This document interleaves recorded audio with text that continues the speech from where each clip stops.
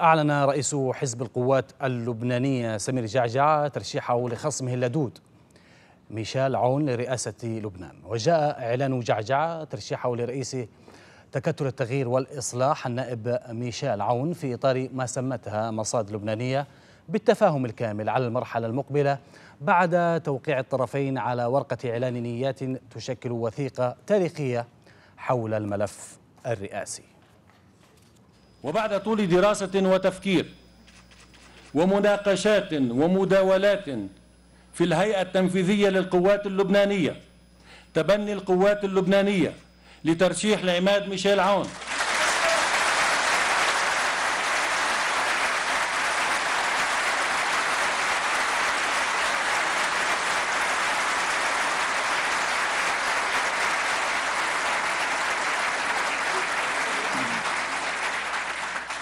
تبني القوات اللبنانية لترشيح العماد ميشيل عون لرئاسة الجمهورية في خطوة تحمل الأمل بالخروج مما نحن فيه إلى وضع أكثر أمانا واستقرارا وحياة طبيعية.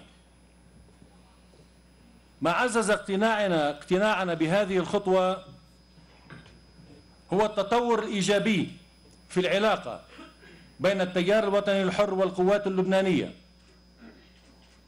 لا سيما من خلال ورقة إعلان النوايا التي وقعت في حزيران من العام 2015 ودعا جعجع في المؤتمر الصحفي الرابع عشر من آذار لاتخاذ نفس الموقف بتبني ترشيح العماد ميشيل عون من أجل مصلحة لبنان.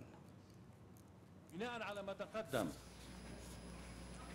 بناء على ما تقدم من نقاط تشكل نواة مهمة لبرنامج رئاسي وانطلاقا من هذا الإطار السياسي الواضح الذي دفعنا إلى تبني هذا الترشيح أدعو القوى الحليفة في 14 أدار وثورة الأرز إلى تبني ترشيح العماد عون.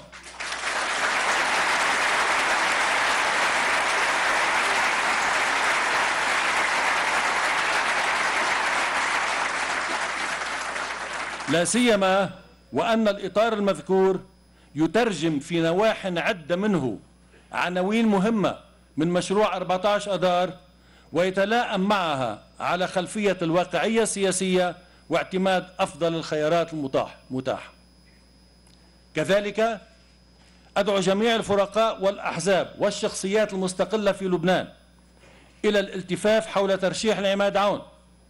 علنا نخرج من حالة العداء والاحتقان والانقسام التي نحن فيها إلى حالة أكثر وفاقا وتعاونا عنوانها الوحيد الأساس المصلحة اللبنانية العليا ولا شيء سواها.